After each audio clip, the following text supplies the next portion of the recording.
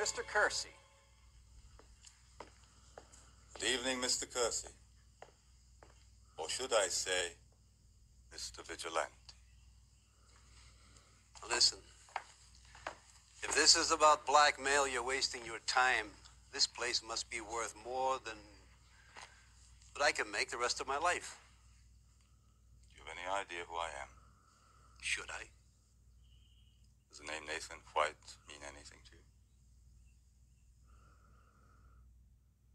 You own a newspaper.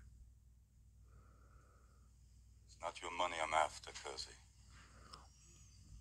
It's your professional skill.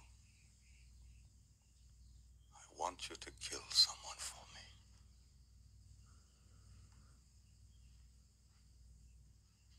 My wife died in a car crash ten years ago. My daughter Lisa became my whole life. Last year she started college. Things were going wonderfully well. Then suddenly everything changed. Her grades went downhill. She dropped out of school. You see, she started using cocaine.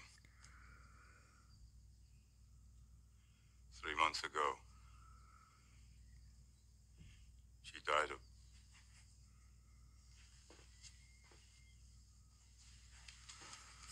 I know about your friend's daughter, Mr. Kersey. I also know that you shot the pusher who sold her the drugs. But I ask you, sir, what about the people behind him? How many children do we let them destroy before we say enough, Mr. Kersey? How many? I've spent a small fortune buying information on the major drug dealers in Los Angeles. I'll give you money, weapons, names, anything you want.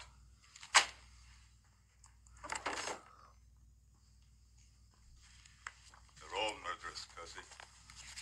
From the smallest street corner pusher to the fat cats at the top. Anybody connected with drugs deserves to die. They have to be stopped, Kersey. I need a few days to think about this.